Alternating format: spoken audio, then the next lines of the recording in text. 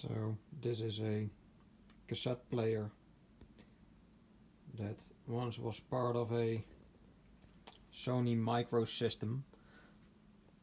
I found it in the second-hand store and I thought, oh, maybe an interesting thing. It uh, can uh, play as well a record in, in auto reverse mode, so uh, can make long recordings with it.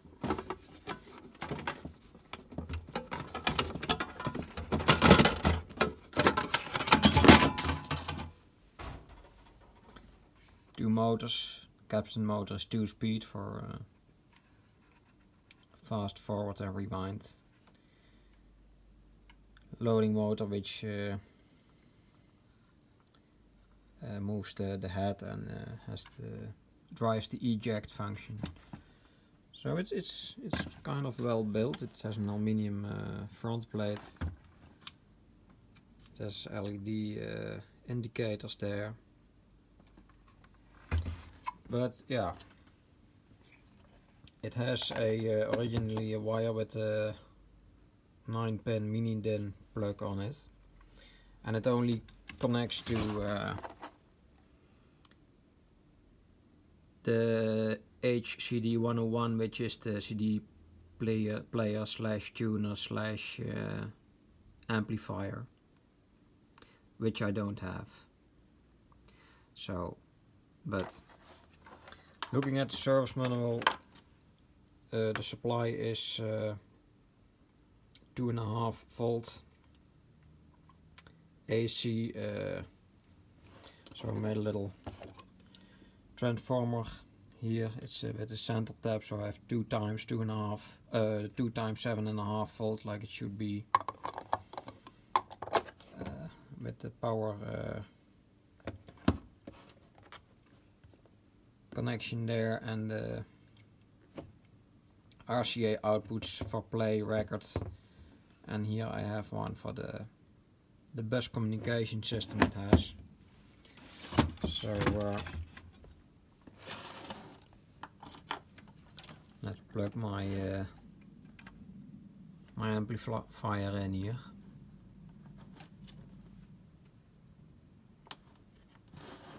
and let's put my uh, system control bus uh, I have something for that. And then uh, the power.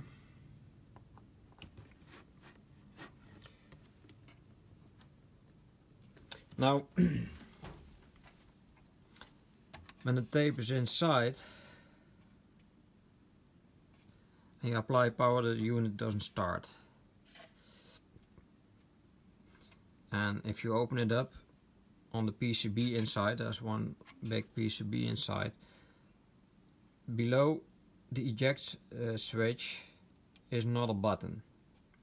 And this button is the power switch. I don't know why they did it. I mean I think for testing purposes or something that you can run the thing standalone like I do.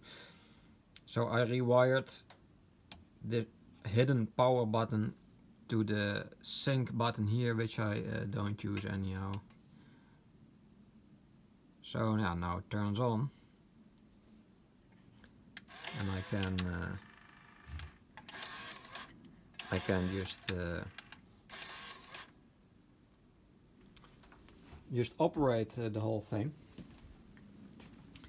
But note if you uh, are trying to connect one of these, um, so those are the the pins on the circuit board that, that go to the wire outside to the 9 pin uh, mini DIN.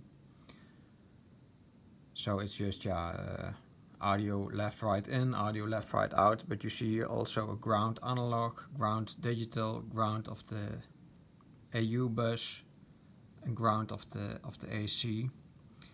You need to connect them all together because as you see, if you don't, the digital ground is the potential is limited by two diodes with the ground of the AC and if you don't connect it you will get an alternating voltage of 0.7 uh, volt, the voltage drop of the diode and your microprocessor uh, don't does not receive the correct uh, voltages. So to connect this ground to to the digital ground, to the analog ground, the AU bus ground, tie them all together and it'll work. See, can I show this this hidden button? So this is the front PCB. This is the eject, it's upside down. Eject and here is this on off button. My one had just the switch installed.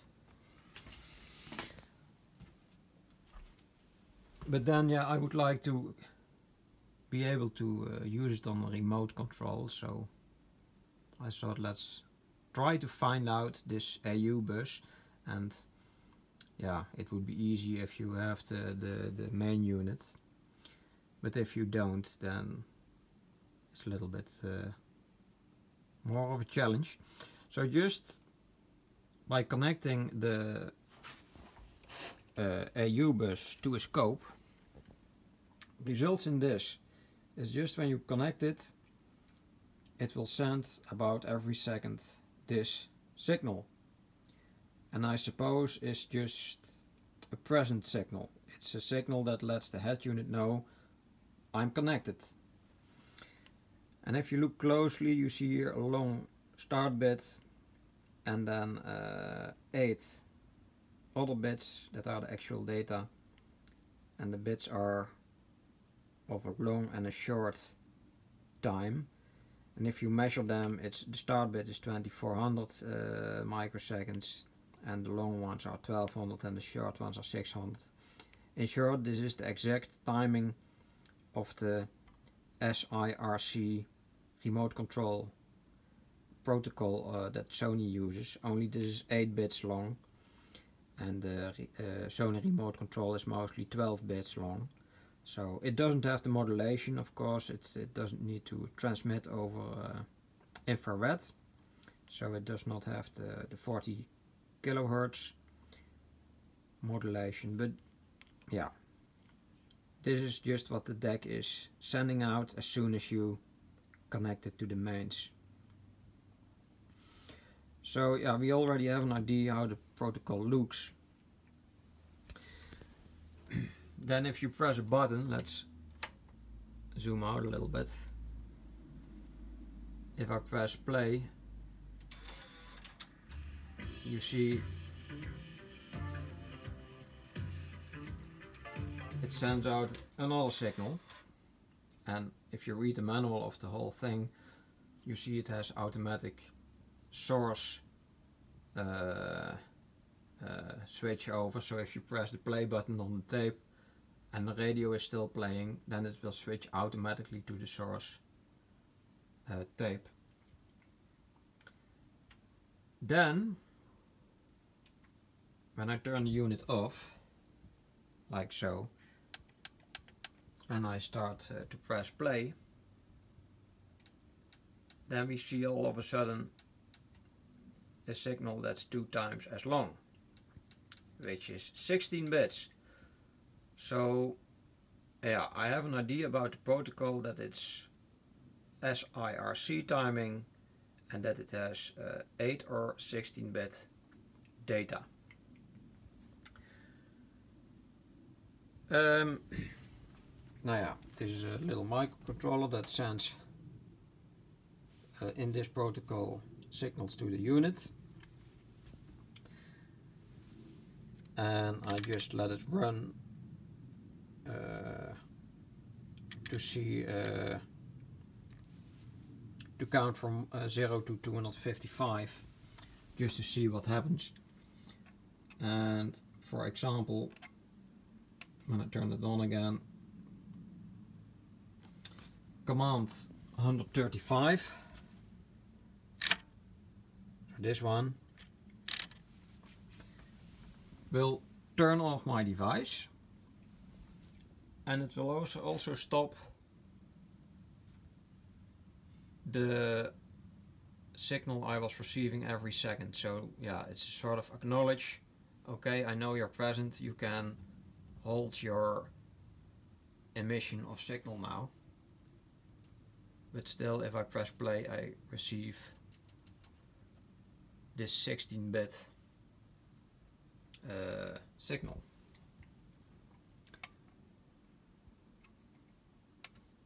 So yeah, and if you, uh, I don't know which data to send, so I just let it run overnight and let it count from 0 to uh, 65,000 and yeah let's let's find out if the thing responds to to anything because if you look in the manual you see the thing is remote controlled and there is no eye inside here so it, it must be over the AU bus they call it system control bus. And yeah this bus uh, also carries some data. So for example you uh, there also exists a mini disk deck, and if you uh, record a radio station with a mini DAC uh, the name of the station with the RDS uh, data will be uh, recorded onto this mini disk as a track name so later when you play it back you get a track name in the mini disk yeah with the radio station and I believe the, the, actual program or the time that is it started or something like that. So, so this bus it carries some data. Um, but yeah, let's see. I found out some uh, some of the codes. So right now it's it's in the standby position. And if I put this thing uh, to uh, 2. Uh, now I uh, 131 is the command. 131. Now it's off again. So. So now I'm going to give him the signal to uh, start.